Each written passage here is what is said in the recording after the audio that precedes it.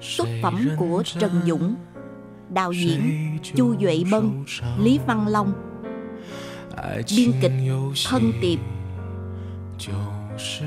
Chế tác Tiêu Đạt Thâm. Với các diễn viên. Phương Lực Thân trong vai Văn Hướng Thiên.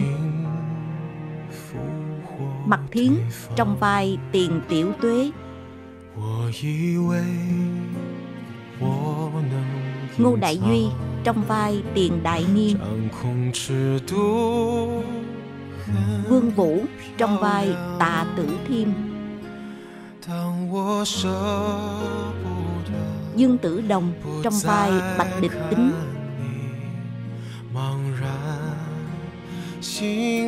Hàng Đồng Sinh trong vai Tề Đại Mã. Tạ trong vai Đông Hoa Trần duy Quang trong vai Bạch Cảnh Thiên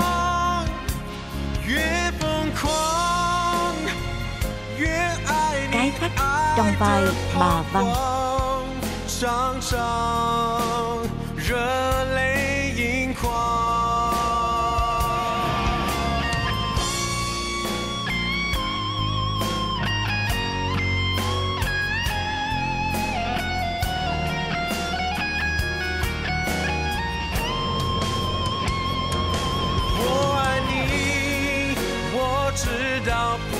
假装越假装，越痛的不一般，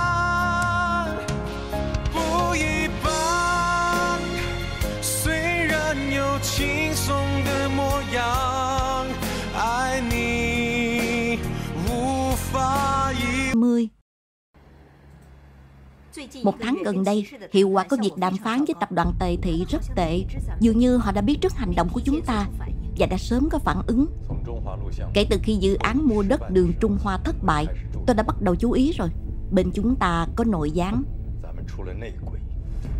Không phải chứ, thành viên tổ chức đàm phán đều thông qua cuộc khảo hạch nghiêm ngặt.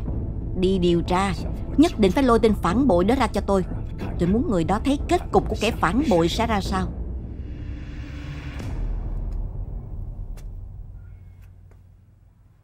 Địch tích, Em tắm xong chưa? Tan cơm thôi. Em tới ngay đây. Được, Mau lên nha.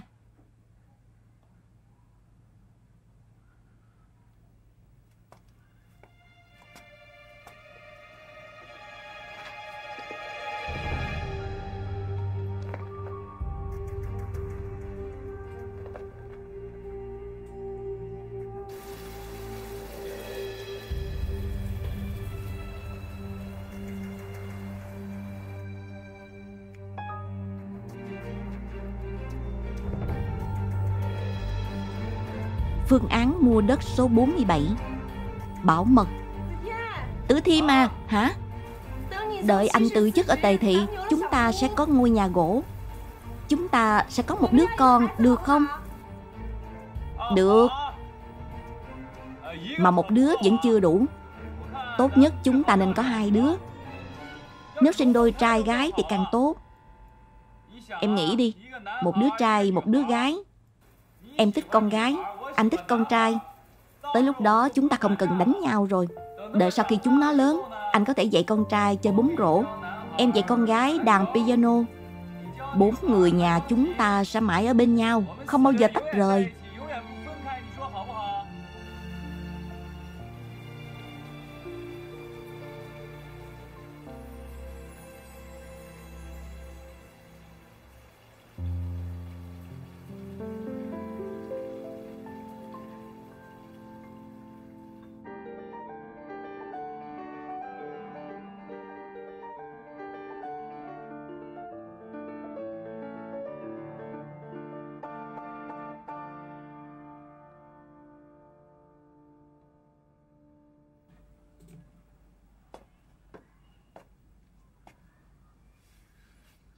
Em sao vậy Đàn tới mức khó chịu như vậy Anh nói em có phải ngốc không Học lâu như vậy mà cũng không xong Từ từ thôi Mỗi người đều có sở trường của riêng mình, không nhất thiết biết đàn piano mới đại diện tất cả. Em phải luyện tập thật vững. Mấy ngày nữa là tới vũ hội rồi. Em không thể để anh mất mặt được. Cố lên. Hướng Thiên. Cô Bạch tới rồi.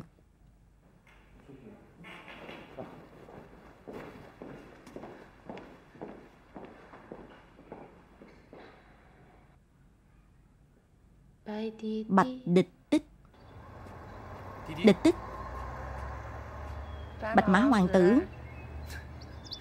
Cuối cùng cũng ôm được người đẹp về rồi phải không? Đừng giỡn nữa.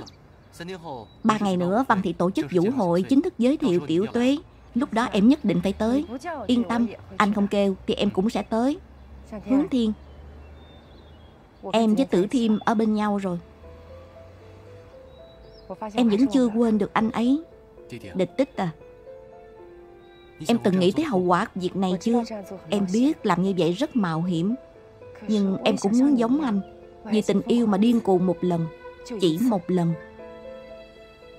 Ít nhất khiến em cảm thấy mình còn sống. Anh còn nhớ bong bóng xà phòng tụi mình chơi lúc nhỏ không? Bong bóng của tử thiêm luôn to nhất, đẹp nhất. Thật ra bây giờ anh ấy cũng đang thổi cho em một quả bong bóng đẹp nhưng lại dễ nổ. Em biết anh ấy ở bên em là muốn lợi dụng em. Cho dù là vậy, trước khi quả bong bóng đó nổ, em vẫn muốn được ở bên cạnh anh ấy, hưởng thụ sự đẹp đẽ cuối cùng. Cho dù chỉ là thêm một phút, thêm một giây cũng được. Em làm vậy đáng không? Không biết Nhưng bây giờ Đã không còn bất cứ lý do nào Có thể thuyết phục em rời khỏi anh ấy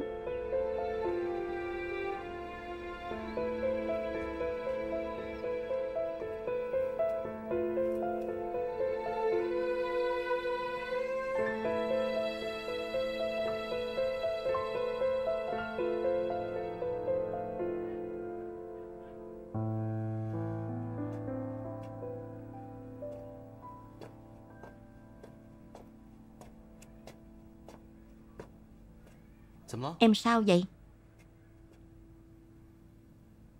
Bạch Địch Tích là bạn gái của Tử Thi mà. Đúng. Kể từ lúc còn nhỏ, hai người họ đã bắt đầu thích đối phương rồi, mãi cho tới bây giờ. Chắc cô ấy yêu anh Tử Thiêm lắm. Yêu. Yêu tới mức đáng thương. Em biết không, địch tích lúc nãy tới tìm anh. Cô ấy nói giờ cô ấy đang điên cuồng hưởng thụ ánh sáng cuối cùng trước khi trời tối. Đây chính là địch tích. Nếu cô ấy đã yêu rồi, sẽ điên cuồng hơn bất cứ ai. Sao đột nhiên em lại hỏi chuyện này? Khảo nghiệm anh. Coi thử anh có đứng núi này, trong núi nọ, ở sau lưng em không? Anh có em là đủ lắm rồi.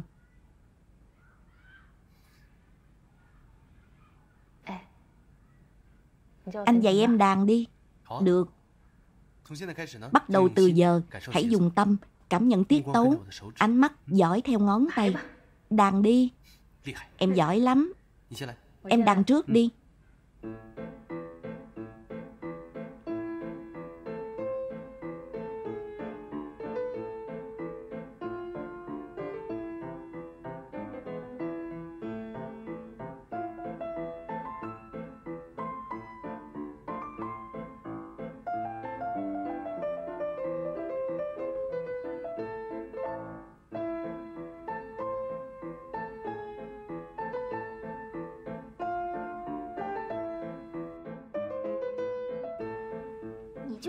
Cô cứ chờ đó, tiền tiểu tuế. Rồi sẽ có ngày, tôi sẽ khiến cô biết, Không phải mỗi con chim sẻ đều có thể trở thành phượng hoàng.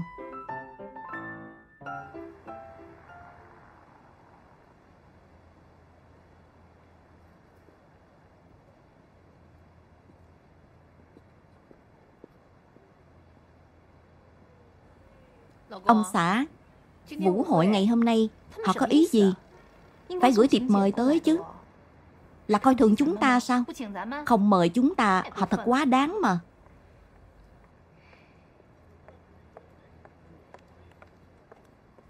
Bà xã à, em không hiểu thì đừng nói bậy, đúng không? Em đừng quên, nhà họ Văn là gia tộc lớn. Gia tộc lớn thì có lộn xộn của gia tộc lớn. Nghĩ coi, từ trên xuống dưới, họ phải thông qua bao nhiêu khâu. Mỗi một khâu đều đã được dặn dò trước. Từ lão phu nhân cho tới quản gia, rồi cả những đơn vị đối tác bên ngoài.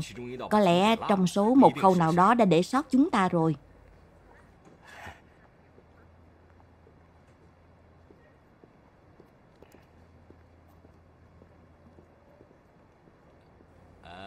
Hay làm vậy đi. Ta đừng đợi nữa. Chắc là sẽ không tới đâu. Đi thay áo quần, Làm việc đi. Thay áo quần, làm việc đi. Không đợi nữa.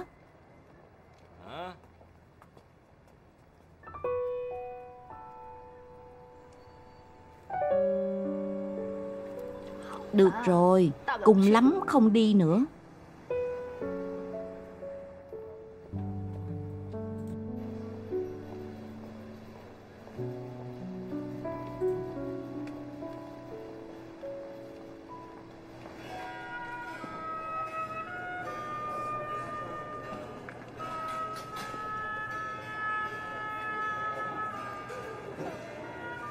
Văn phu nhân, chào ba.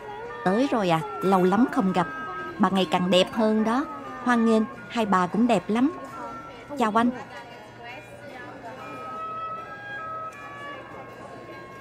Em không uống đâu. Em không uống cũng cầm một ly cho có thôi. Nè.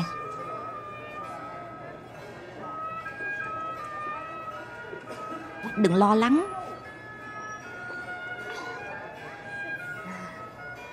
lỏng đi. Cứ làm như thường ngày chúng ta luyện tập là được.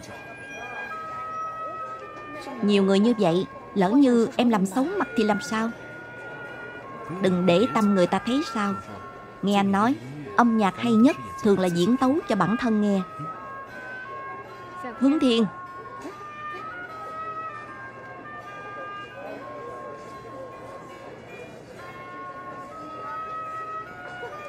Mau chào gì đi đây là Lý Tổng, Lý Phu Nhân.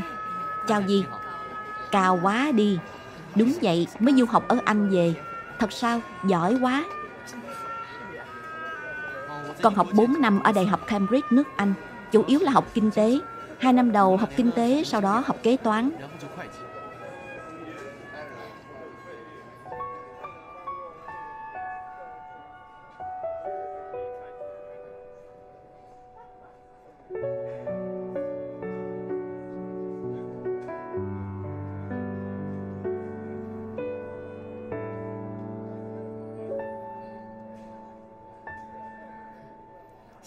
Bây giờ công ty toàn dựa vào nó.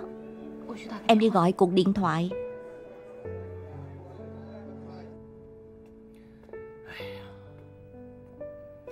Được rồi, được rồi. Đừng thở ngắn than dài nữa. Thật ra trong lòng anh còn biết rõ hơn em. Anh sớm biết Căn bản nhà họ Văn coi thường chúng ta. Vũ hội gì chứ? Có gì hay ho đâu. Em mới không thèm. Bà xã Thật ra có đi vũ hội này hay không không quan trọng Anh chỉ sợ tiểu tuế sống ở nhà họ Văn không được thoải mái Em nghĩ coi Nếu em ấy sống hạnh phúc ở nhà họ Văn Sớm đã có kịp mời gửi tới nhà chúng ta rồi Nhưng mà không có Chính là anh sợ Tiểu tuế em ấy hiểu chuyện như vậy Sợ chúng ta không vui Cho nên mới kìm nén hết những chuyện ấm ức vào trong lòng Không nói cho ta biết Em ấy ở nhà họ Văn Nói không chừng không giống như chúng ta nghĩ. Sống hưởng thụ an nhàn như vậy, Có khả năng em ấy đang cầm một cái bằng trà Đến trà nhà em biết không? Được rồi được rồi. Hãy nghĩ tới chuyện này, Đừng nghĩ như vậy. Em nói anh biết, Có A Ngọc ở đó, Chắc chắn tiểu tuế sẽ không chịu ấm ức gì đâu.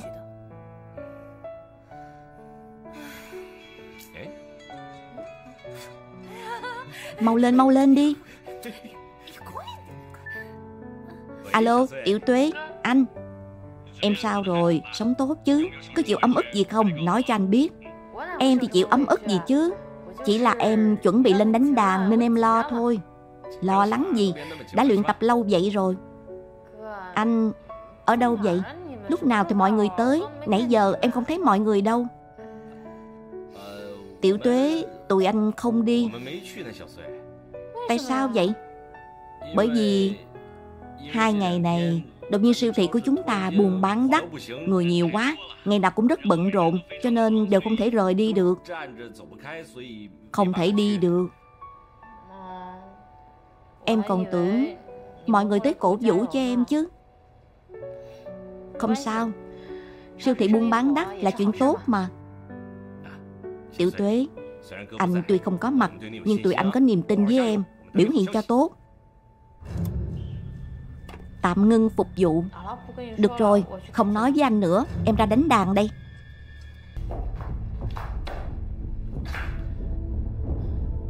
Nè Có ai ở ngoài không?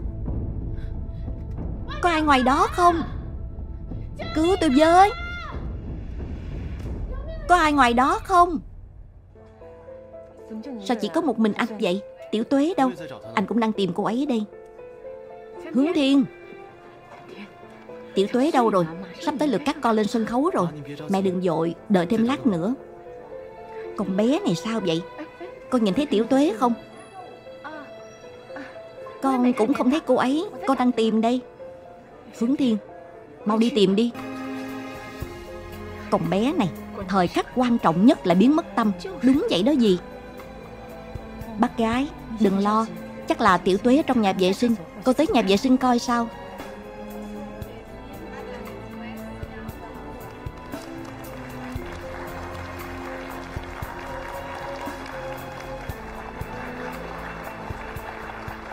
Ai kêu bắt đầu vậy? Tôi không biết. Mẹ, Giờ chưa thể bắt đầu được. Vẫn chưa tìm được tiểu tuế mà. Địch tích, Hay là con lên đàn cùng với nó đi. Con, Từ nhỏ con đã luyện đàn rồi. Coi như giúp bác một việc đi. Bác gái, Mẹ, Hay là đợi thêm lát nữa. Tiểu tuế đã vì ngày hôm nay chuẩn bị rất lâu rồi. Không thể đợi được nữa. Nếu còn tiếp tục đợi thì nhà họ Văn sẽ mất mặt.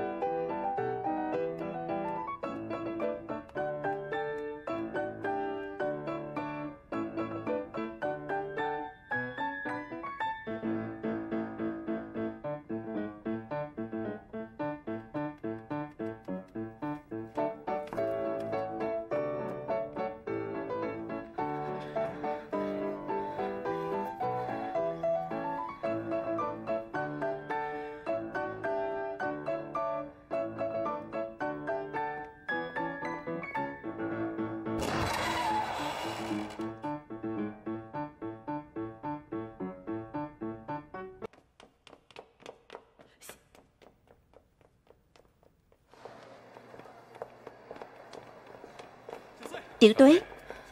Tiểu tuế, Cô muốn làm gì vậy? Tiểu tuế. Hướng tiên à Bác có chuyện này tìm con. Đi theo bác. Bác Bạch à Đợi con một lát được không? Không được. Chuyện này liên quan tới con bác và cả tập đoàn Văn Thị. Đi theo bác. Anh đi làm việc đi. Em không sao.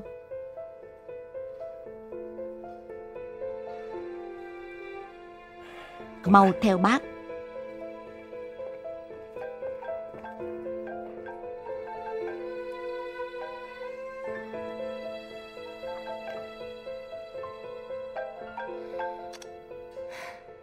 Đào đào Gì thế?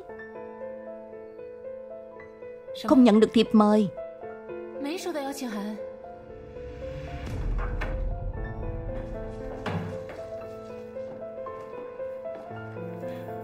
Gì à? Tiểu tuế gây rắc rối lớn như vậy. Lần này nhà họ văn ta không thể tha cho cô ta được Vì không được mềm lòng. Cô ta đâu rồi? Chắc là không còn mặt mũi gặp ai. Trốn ở chỗ nào khóc rồi? Cô làm gì vậy Tại sao buổi vũ hội ngày hôm nay Bác lại không mời anh của con? Dám nói chuyện với người lớn kiểu đó à? Đã một tháng nay con chưa gặp anh con rồi. Suốt một tháng này con vẫn luôn ở tại đây. Con tự nói với mình Chỉ cần có thể ở bên cạnh An Ngọc. Cho dù con có chịu ấm ức lớn hơn nữa, Con vẫn chịu được.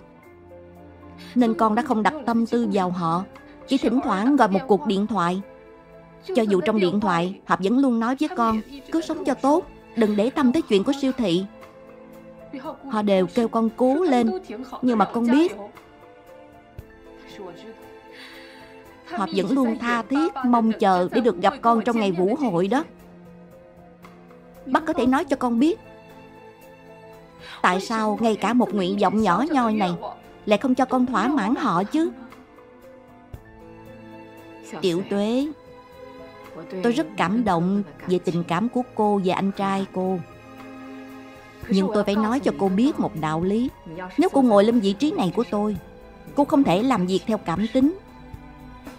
Lúc tôi xác định danh sách tham gia vũ hội Chưa từng xem xét tới anh của cô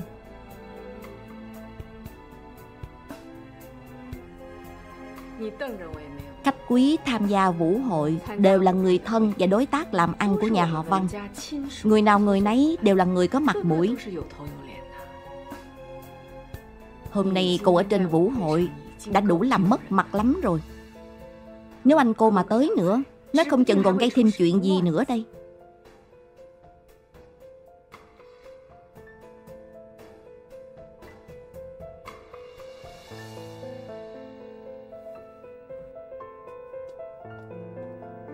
Dì ơi, dì coi cô ta. Thái độ gì vậy hả?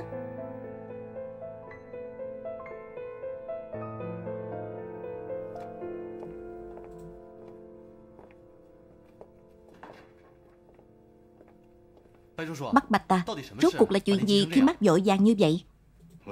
Có nội gián trong văn thị. Nội gián? Hiện tại hội đồng quản trị đã nghi ngờ tiếng nói của bác. Bác cần sự ủng hộ của con.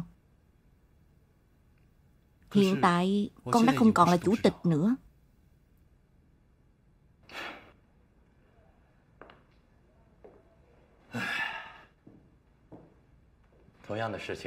Cùng một câu chuyện 20 năm trước đã từng xảy ra Con biết lúc đó ba con nghi ngờ nổi gián đó là ai không?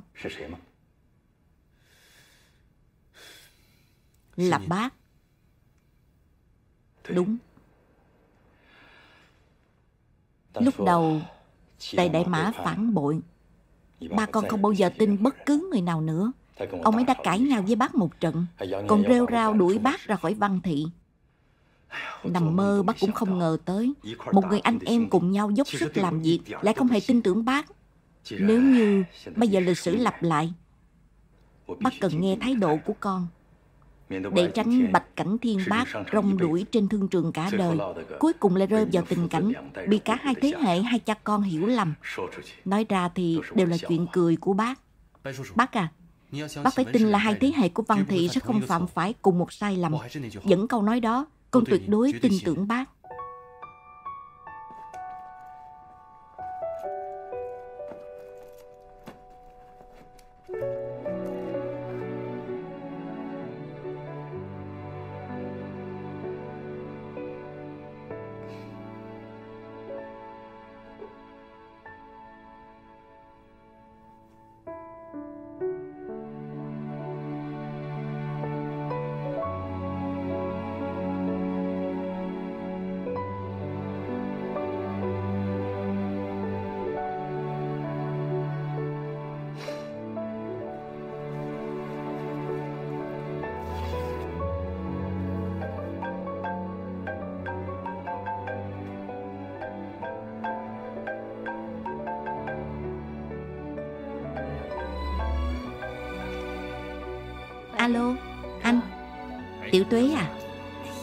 sao rồi? Em biểu hiện ra sao? Tốt lắm. Em nhớ anh rồi. Đương nhiên anh cũng nhớ em. Sao vậy? Có phải chịu ấm ức rồi không? Nghe giọng của em có hơi lạ lạ. Khóc rồi phải không? Làm gì có. Là nhớ mọi người thôi. Anh Em muốn về thăm mọi người. Bé ngốc, nhớ nhà rồi à. Tụi anh đều rất tốt Đừng lo Anh, em đàn cho anh nghe một bài nha Tuy mới học nhưng em đàn hay lắm Được đó, được đó Đợi chút nha Mấy lần đàm phán gần đây của chúng ta và Tề Thị đều bị đối phương chiếm ưu thế. Bắt dám chắc tên nội gián này nằm trong đội đàm phán của chúng ta. Bắt đã cử người đi điều tra rồi.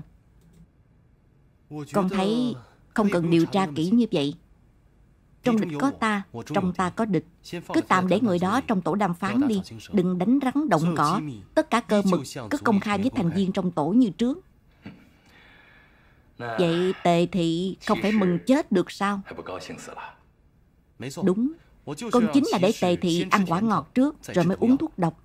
Dùng tình báo giả dụ nội gián ra. Một mũi tên trúng hai đích. Giỏi lắm. Bắt Bạch, thật ra chiêu này bác đã sớm biết rồi đúng không? Bác tới đây để ép con nói ra mấy lời này, bác mới dám yên tâm dũng cảm đi làm. Thật ra, bác còn một mục đích nữa. Muốn tới coi thử đầu óc của con có bị rỉ sét không? Bác già rồi, cuối cùng cũng phải trả văn thị lại cho con. Bác Bạch, con thật không muốn tham dự vào mấy chuyện tranh giành mưu tính hại nhau này. Bác muốn con đóng góp ý kiến thì được, nhưng muốn con quay lại thương trường, con không làm được. Hướng Thiên, bác tin con sẽ thay đổi chủ ý. Trong mắt của con và bác, thương trường như chiến trường. Cũng có một ngày con sẽ nhàm chán cuộc sống ảm đạm.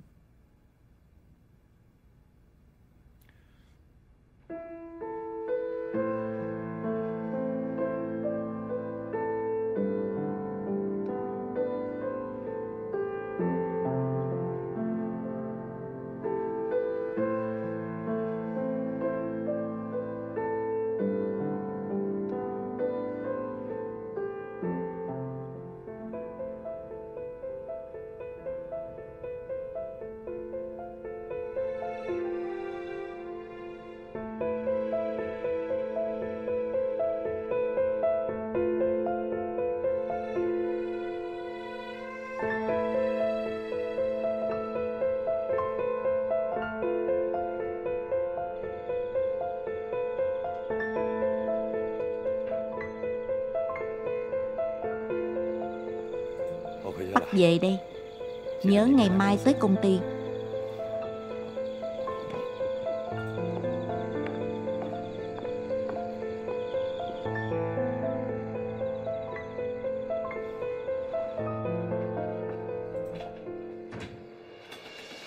Hướng Thiên.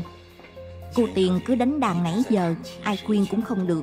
Cô ấy nói, chưa từng được đàn cho anh trai nghe, Nên lần này nhất định phải bù đắp. Là ý gì?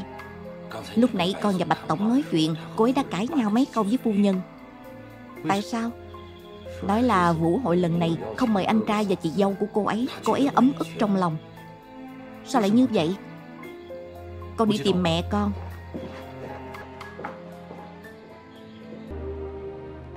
Cô Tiền à Mời cô đi theo tôi một lát, được không?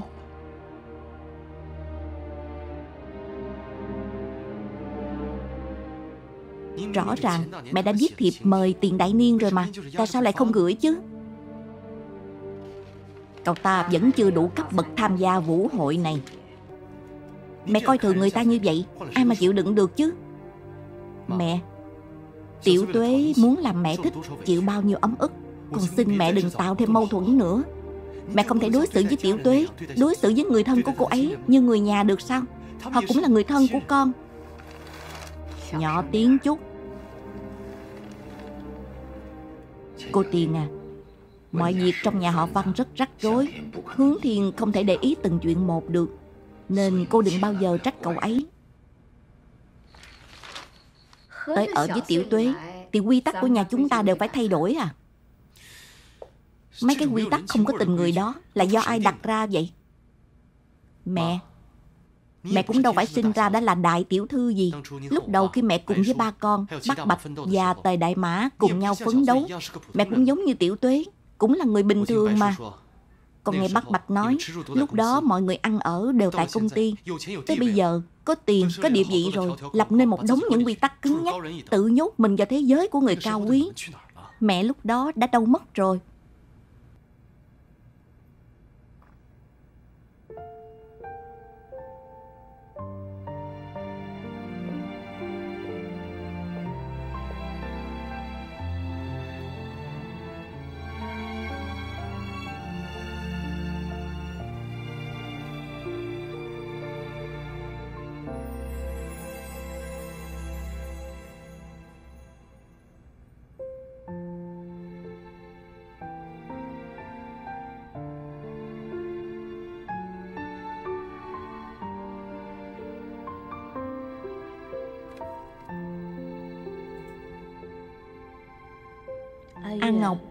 Đừng cãi nhau với mẹ anh nữa. Nghe lời. Chuyện ngày hôm nay em cũng có lỗi. Có lẽ do em nhớ nhà quá. Có điều em tin chúng ta sẽ sớm cải thiện thôi. Chắc chắn là vậy. Anh cũng phải có niềm tin. Tuy là em hơi ngốc Nhưng em sẽ nỗ lực. Em rất muốn lần sau có thể cùng anh hợp tấu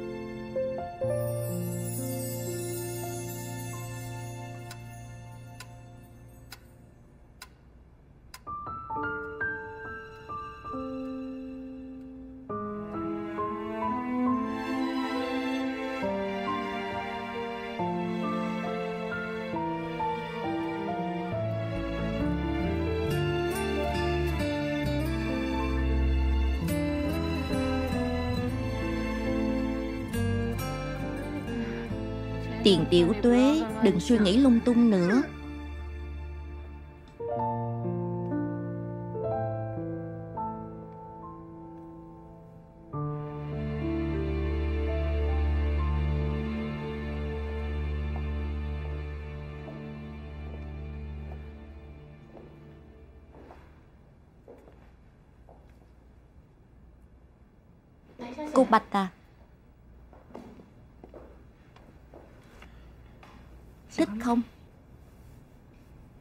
Cô đó.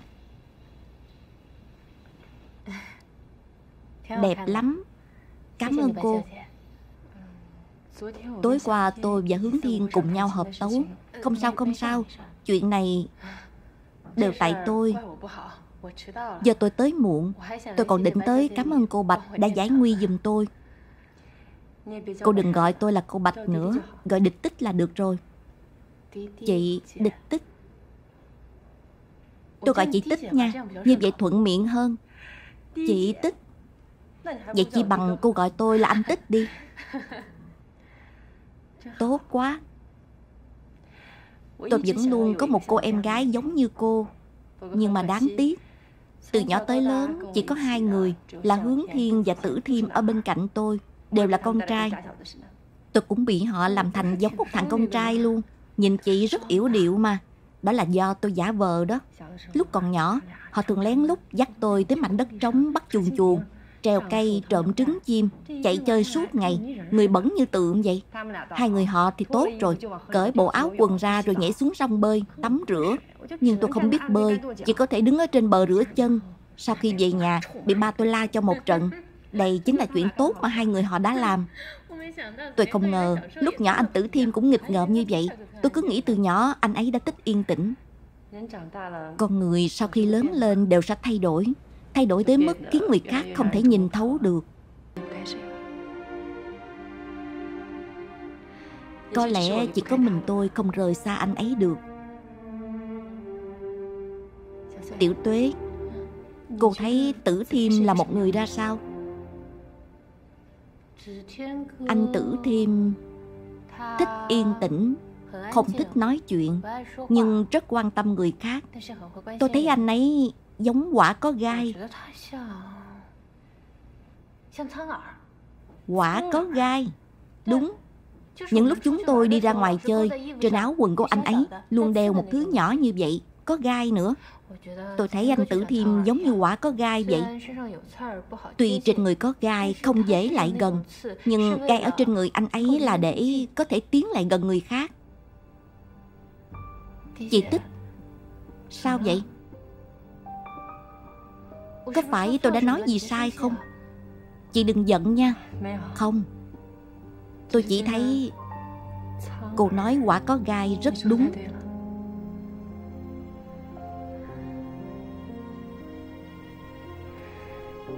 Tiểu tuế. Có một cô em gái như cô Thật tốt.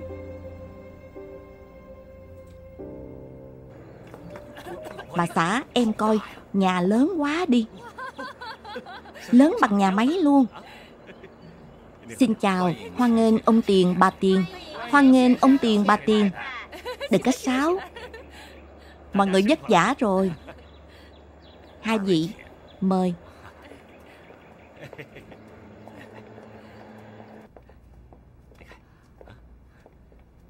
Tạ quản gia Em gái tôi đâu? Nó sống ở đây ra sao hả? Có quen không? Em gái anh tư chất thông minh, Tin là sau khi hai người gặp cô ấy Sẽ thấy như một người khác. Nhưng không chịu ấm ức gì chứ. Chuyện này anh yên tâm. Phu nhân đến mời một cô giáo lễ nghi giỏi Dạy cho cô ấy. Tôi đúng là nghĩ nhiều rồi. Ông dẫn đường.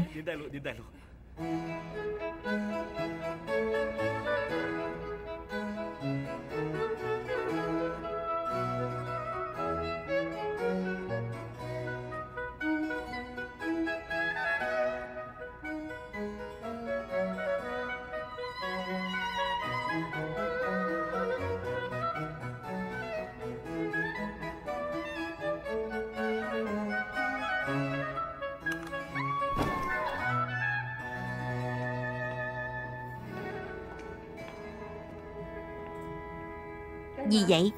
Giả chết hả? Nhìn cái gì? Ai giả giờ chứ? Nói cô còn không phục. Nói cô biết. Vũ đạo có thể rèn luyện khí chất của một người con gái. Đưa tay lên. Nhìn đi. Vừa đưa chân ra, Cô coi, Đều là khí chất, Đều là cảm giác, Cô biết không? Cô nhìn cái gì? Không phục à? Tiếp tục.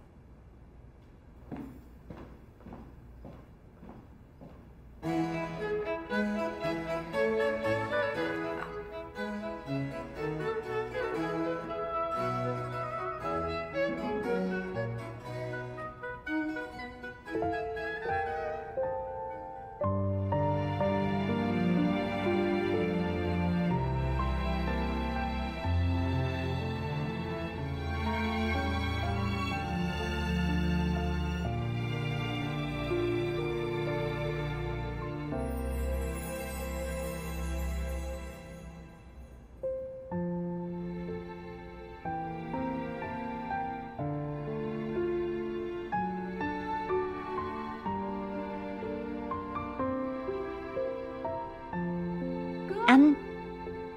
Em gái. Mở cửa đã Anh, chị dâu.